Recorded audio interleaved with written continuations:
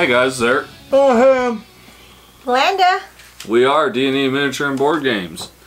So, got Masmorra a couple days ago, unboxed it last night, and played a couple playthroughs of it tonight to see how we liked it. Um, and as normal, you know, we're we're gonna throw out our review ideas. Um, for those of you who are not familiar with our reviews, we score on a 1 to 5, 3 being average, not good, not bad, just average, 5 being outstanding, 1 being crap. Uh, we have 5 different categories we score in, graphics components, graphics and artwork, rulebook, components, replayability, and fun. I think we're tired. we are. Oh, God. Uh, uh Tim always starts out with graphics and artwork. Um, it's a cool mini or not. It's everything pops, very colorful. Um, I was a fan of the Arcadia Quest and the, you know, the artwork with Inferno and pets and, you know, everything like that. So the art for me is, is it was great. So it got a it got a five for me. Glenda. It's a five. Perfect score. Beautiful. Wonderful. You know, I can't argue with them. Uh, it's cool mini or not. They they put they they pull out all the all the stops when they do this Everything. stuff. And I gave it a five. I I thought the artwork and graphics were top notch. Well, I mean, you know, at at last CMON, uh, out of all the games that were represented there, Arcadia Quest had its own entire village and mountain and everything. Yes, it did. Set up. I mean, you know, they've they've put a lot uh, into this into this series, and and this one doesn't fall short when it comes to the to the artwork. Now, rulebook. I gave the rulebook a three. Um, even while we were playing the tonight, we were still flipping through it a lot. There's a couple things that I didn't feel really clear in it. Um, it wasn't enough to drop it below a three. It almost did, but uh, I, I gave it a three. I didn't I didn't nose into it as deep as you did, but I did. You know, I, I was reading through the setups and the you know how how gameplay works and stuff like that I thought it read well. Um, always room for improvement in a rule book, um, but it, took you, you know, it, it, takes you through the begin phase to the end phase. Um, explained things fairly fairly well. I, I gave it a four. I gave it a four. Um, I read it and um, there there's a lot of examples to it too so that you know it's easier to understand how to play the game. It's just there's so many things to look for. Oh wow there is. You know there is. and that falls into the imperfection of it. You know it's just you're gonna have to look find out what if this happens so i mean they elaborated it they gave examples to it but it can never be perfect for this kind of game. That's me. Components. Tim well, um, I was, you know, just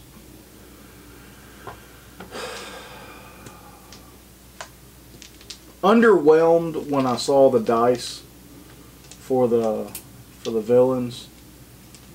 Um, but after playing, I mean, it really that went away.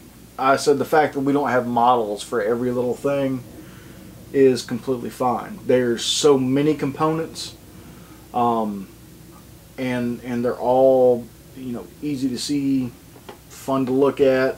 Uh, you know the tiles are even interesting to look at. You know they tell you what you need to know. It's a five. You know it's it's great stuff. Glenda. It's a five. Um, I don't know if I've seen a game like this with the tiles being used as, you know, you roll it and you put it there. That's your um, villain, you know. I like it. Huh? Dice. I said dice. You said You said tiles. Oh, did I say tiles? Okay. Well, the tiles are perfect too. We're all I mean, tired. we are tired. But yeah, the components, it's beautiful. It's inviting. I think there's no age limit to it. Kids and older. It, it just, it's cool. Uh, I gave components a four. Bastard. I think for me the the dice kind of hurt the component score. I would have rather had figures for the creatures. I understand why they did it. Um, And that's why I said it's. A we do have good stock on the cards, and the tiles are good thick, are thick, and they're not warping. They're smaller than Yeah, like a they're Zombicide tile. And the, the the Arcadia Quest figures, you know what? They're always great, but I don't know. I just uh, I I couldn't get past the stickers on the cubes for the creatures. I, it, I it just- I bugged mean- me, and I gave it a four. I absolutely understand why they did it. Um, there's a- Different. well, not only different, but there's a potential for you to get a lot of things on the board. Correct. Yeah, I know. Correct. You know, non-conventional Mm, Whatever. figure monsters. It's still, hey, it's still this got, is wait. really original. You I don't like it. You don't have to beat up on me. It's still got a four. It's still above average. But because it's these are awesome. Be like us. All right. So listen, I gave replayability a five. Oh, Uh, definitely. the dungeon can go any which way because you build it while you go. Um, uh, Cool Mini or Not thought enough to do a crossover box so you could cross over all the characters from all the they Arcadia do quests. anyway. You've got so many characters to choose from. You've got the the, the only place that it, it seemed uh, to lack what needed more was the treasure cards, the Yeah. Masmorra treasure cards. I think they could have had more, but that didn't really affect my five on it. I, yeah, because you know once you start recycling them, Correct. yeah. you know, So yeah, you're gonna run across what, I, I gave what replayability a somebody five. else had. Yeah, uh, I, I was a five straight up. Five endless possibilities. Uh, fun. Tim. Uh, I had too much fun. You know, I mean, you know, we've been talking about it since right. since he received it. Um, I'm not, you know, when when given the opportunity to play a, a game for fun, Arcadia Quest isn't one that I pick. Um, I did enjoy Inferno uh, when we played through it at CMON.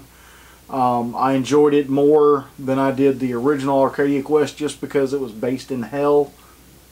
You know, metalhead. Who would have figured, right? um, but for me, this one mixing, um, you know, all the versions of Arcadia Quest, all the characters, all the enemies, um, plus it's a build as you go uh, map.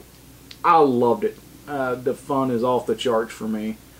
Uh, this is definitely one of those that, uh, you know, with Spinal Tap, I would turn it up to 11.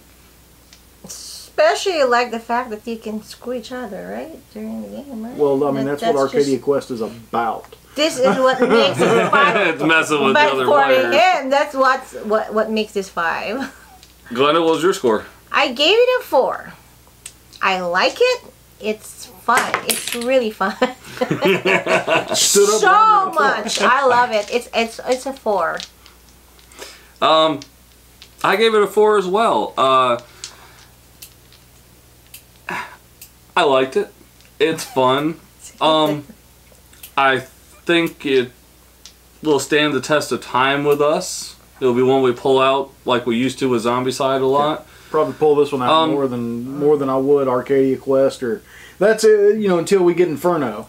Well, I think too though that when you pull this out, it's it's quick. Mm-hmm. It sets up quick. It runs quick. It, it's not something that's really Yeah, you set up more. You spend more time.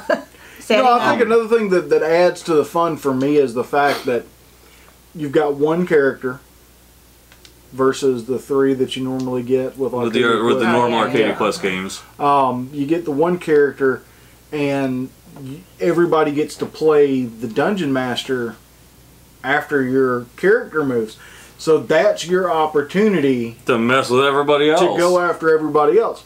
And that's why, you know, it's a twist on something we already know. I kept getting confused with a lot of stuff from Arcadia Quest, you know, rules and things like that that are different in this one. Yeah. Um, but Yeah, some, yeah, once, some yeah, it was like one of those once you freaking, you know, got it in your head that this is how it does. Uh, yeah, I, I was having I was having more fun with this than I have with with most of the other Arcadia Quest versions. So, in this whole thing, one of us gave a three, and everything else was fours and fives. um, total score, folks, four point five. Always got to be one. That's always got to be one. uh, total score, four point five. Uh, remember, guys, support your local gaming. We support. Discovery Discover games. games. Wow, get some enthusiasm, guys. Well, I'm just wondering. Discover games. I'm just wondering because I'm looking at the battery compartment on the camera. That's open. yeah, so it would stay cooler. So the battery's in there? The there. battery's in there. Oh, thank God. All right, discover games. Discover In, uh, in games. Fayetteville, Fayetteville, George. across from the pavilion, Next, next to Harbor, Freight. As always, guys, game on. Do what you got to do, folks. Game on. Wow. Oh, I thought the top is game on for you. Really? you say wow, you don't even say it. Yeah. All right. yeah. Keeping things fresh.